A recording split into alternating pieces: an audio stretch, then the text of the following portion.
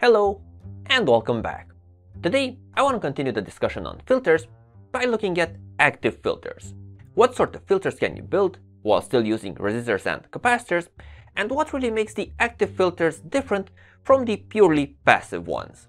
So to start things off, the thing that makes an active filter active is the usage of some sort of amplification element. This could be a transistor, but to make life easy, it's usually an operational amplifier.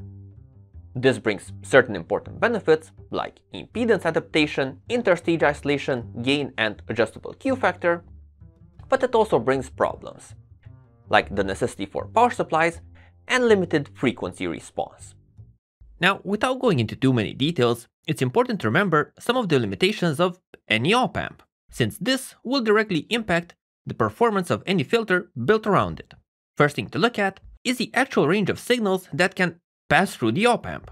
So the input voltage, the voltage present on the inverting and non-inverting inputs, can either be equal or slightly exceeding the supply voltage in the case of rail-to-rail -rail input op-amps, but with a regular op-amp, the voltage will usually be limited by some sort of multiple of 0.7, the forward bias voltage of a PN junction. So if you supply the amplifier with plus minus 5 volts, you might be limited to an input signal range of only plus minus 3.5. A similar situation exists with the output. You have rail-to-rail -rail output op-amps that have a very small limitation, so the output voltage range is usually the supply range minus some tiny value, so 0.1 or in that range. But with regular op-amps, you again get some multiple of 0.7. The exact voltage range, both for input and output, will of course be documented in the component's datasheet. But it's important to keep in mind that the active amplifier is usually limited in the amplitude of signals it can handle, both on the input and on the output. The other important consideration is the frequency at which the components can be used. Usually, the datasheet will mention only the unity gain bandwidth, which is the frequency at which the op-amp's open loop gain is equal to 1. But if you actually need any sort of fixed predictable gain out of your amplifier, well, the maximum usable frequency will be lower than the unity gain frequency. So taking a basic example of the NE5532, where the typical unity gain bandwidth is 10 MHz, if you want to amplify a signal's voltage by a factor of 10, so 20 decibels, then the maximum usable frequency should be 1 MHz. Sort of. See, the unity gain bandwidth has a minimum value based on how lucky you are and the exact operating conditions, so 10 MHz is just the typical value. And the other thing to observe is that the higher frequency gain limit you get from this graph is actually the minus 3 decibel point. There is no sudden corner in the gain. So to properly get the expected results under all conditions, you will want to use the op-amp at somewhat lower maximum frequency than this formula would give you. Or choose a better op-amp, or just limit your gain a bit. So not all op-amps are created equal, and the exact performance of your filter will be highly impacted by the exact op-amp that you use. With that fun bit out of the way, let's finally start looking at some actual active filter configurations. Now, one of the big problems of the passive RC filters is that in an ideal world, you want the filter to be driven by a 0 ohm signal source and the load needs to be of infinite impedance. This is the only way to get zero insertion loss in the passband and the way to get the exact responses predicted by the simple formulas. But this, of course, is not realistic. So to try and get close to this, the most basic active filter is the one in which you use op-amps as signal buffers. Since the output of the op-amp is of relatively low impedance, usually tens or hundreds of ohms, and the input is of quite high impedance, usually in the megaohm region, this will be the closest real circuit to the ideal version. You can even take this one step further by converting the amplifier into an amplifier, so to have a non-unity gain, this way the output will be even larger than the initial input, and you can also cascade multiple stages. So if you connect multiple RC stages one after the other, the stages will not be operating in the ideal zero input infinite output impedance region, since the impedances will be defined by the interconnecting stages. By using op-amp isolators, you are getting much closer to the ideal behavior, since all of the stages are isolated from one another. and thus the performance of the filter will improve. So just to highlight this, I created a basic 4-folder RC low-pass filter, once directly with interconnected stages and once with op-amp buffers. To keep things simple, I used a universal op-amp, so it's not some specific component, but rather this generic one. And well, when we run the simulation and we have a look at the results, so once at the purely passive RC filter and then the active one, we can observe that the corner frequency of the filters is far better defined for the op-amp active implementation. The Q factor seems to be better. This can be understood if we remember that the Q factor is not just impacted by the individual components in the filter, but also by the interconnecting circuitry. So for the purely passive implementation, there is a lot of resistance from the previous and next stages acting in on each RC segment. Whereas in the active implementation, the impedance before is zero and after is extremely high. So the Q factor is mainly impacted by the RC circuit itself. Now, there is one more type of proper active filter that I want to look at today. One of the most well-known types of filter, the voltage-controlled voltage source filter, initially developed by Sallen and Key.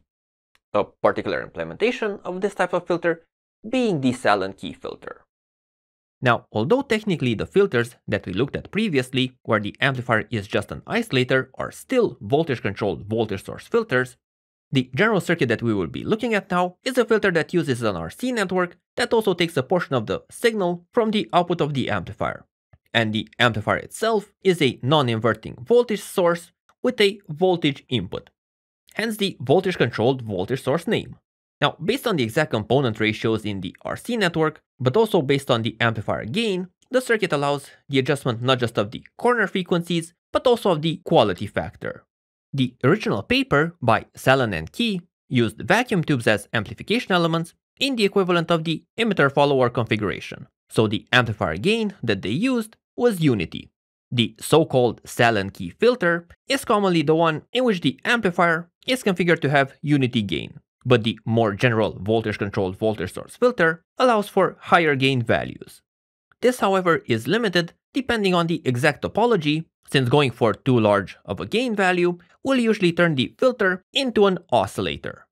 Finally, you can make all types of filters as Sallen key filters. So your high pass, low pass, band pass, and band stop, and there are other implementations as well. So now, let's try to understand the math behind some of these and try to design and simulate them. First, we can have a look at the second order high pass and low pass filters. I was able to find some formulas that describe their behavior. So based on the resistors and capacitors in the RC network, you can set the corner frequency and based on these components and the gain of the amplifier, you can also set the Q factor. It's important however to check that this value stays a positive number. Usually if the gain is too high, the Q factor will turn negative, and you don't want that. Now, to make life easy, a common simplification that is done is to consider the capacitors and the resistors to be of equal value, which will make the formulas much simpler, and the Q factor can be adjusted only from the gain. Now, another simplification that you can do is set the gain to unity and change the Q factor only based on the other components, so the exact resistor or capacitor ratio. Now we can try out these circuits in the simulator. So the initial circuit to look at has unity gain, there's no resistors around the op amp, and the components have equal values, so the capacitors and the resistors are equal, giving us a Q factor of 0.5. And well, with these components, we get a corner frequency of 1.59 kHz. So if we look at the response of the circuit, we get a specific curve. Now, if we want to improve the Q factor, one of the things that we can do is increase the gain, so with a gain of 2, set with these two resistors, and while leaving all of the other components the same, we should get a Q factor of 1, but a gain factor of 2. And if we look at the response of this circuit, we can see this bump in the response. So this is specific to circuits having a Q factor of above 0.7. But at the same time, we can see that there's also gain present in the pass band. So if this is not intended, we can also change the Q factor from the component ratios. So I prepared the circuit with the same corner frequency as before, unity gain, there's no resistors around the op amp, but the two capacitors are in 1 to 4 ratio. So if we plot out this final circuit, we can see that the curve looks exactly the same as the previous one, it's just that there's no gain present in the passband. Now, if you're unsure of what the response is supposed to look like for a second order filter, you can always use the generic filter blocks. So these are found under special functions, there's all sorts of these, and well for this example, I set the corner frequency, Q factor and gain the same as for our last circuit. So if we plot out this response, we can see that it's exactly the same as the response coming from our discrete circuit. So if the two responses line up, you got the math right. Next, for the band stop filter, I found two main ways of implementation based on how narrow the notch actually needs to be. So you can make a wide stop band using a combination of two separate high and low pass filters, and then sum of the output using a third op amp. This will work quite well as long as the low pass corner frequency is smaller than the high pass corner frequency. The exact design details for the two filters are the same as for the previous high and low pass filters, so I will not be going into too many details with this circuit. And to actually make a notch filter, so a narrow stop band, you have the 1 op amp implementation. For this circuit, I was able to find some formulas that allow changing the Q factor only from the gain. The RC network is based on the twin T notch filter, so you need a specific component ratio. It's important however to mention that the gain here needs to be below a value of 2, otherwise the Q factor goes to infinity, which it should not. And while the other extreme, with this base implementation, is a Q factor minimum of 0.5. So, just as a quick example, I prepared the circuit with the same corner frequency as before, and we can start off by running the default simulation with a gain of 1 and a Q factor of 0.5. So if we look at this, we see the notch response appearing at 1.59 kHz. Now, if we increase the gain, and thus the Q factor of this, so it's the same RC network, it's just that we have a higher gain, we can observe that we are getting a sharper response, so the notch is smaller, but we are also getting gain in the passband. Now, there is one variation of the circuit that can be created to obtain any Q factor, while still not changing the final response amplitude, which is to add an extra op amp into the feedback loop.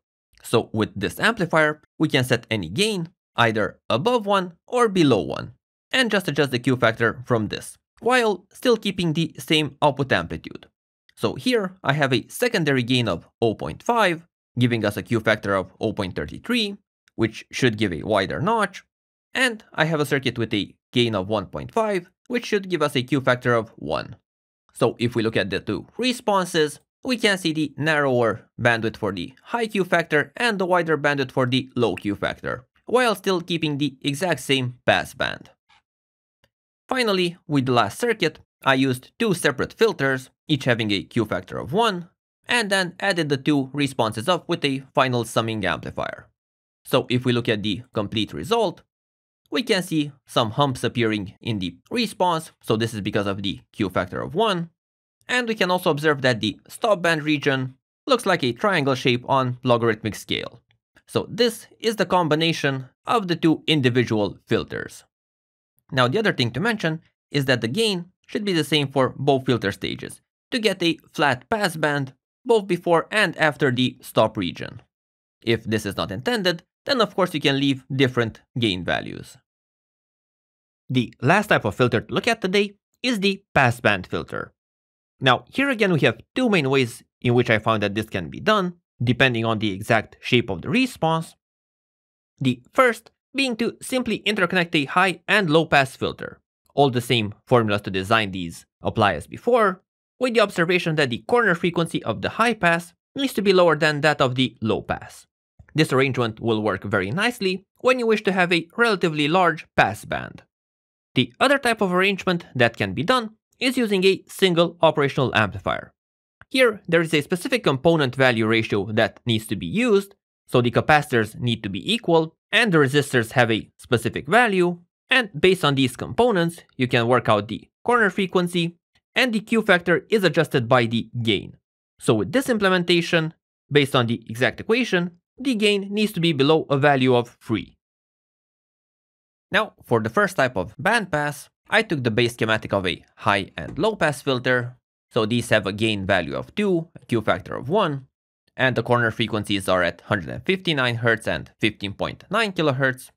And well, when we combine the two circuits, so first of all, it doesn't really matter if you have the low pass and then the high pass, so the red curve, or the high pass and then the low pass, both give the exact same results. And the second thing to observe is that the gain is adding up. So compared to the initial two signals, the signal coming from the band pass has a higher amplitude, so the signal is amplified by a total factor of 2 times 2 equaling 4. And for the other type of circuit, I prepared two versions, one in which the Q factor is increased, so to a value of 1, and this is obtained by having a larger gain, so the gain of 2, and one in which the Q factor is at 0.5 with the default gain of 1. If we look at the two responses, the higher Q factor is giving us a smaller bandwidth compared to the circuit with the smaller Q factor. So by increasing the Q factor, the passband can become smaller. Higher and higher Q factors will reduce this even more. Now, the high Q factor was obtained by increasing the gain. So if this is not really intended, the circuit can of course be modified like the band stop filter, and an extra op-amp can be added into the feedback line.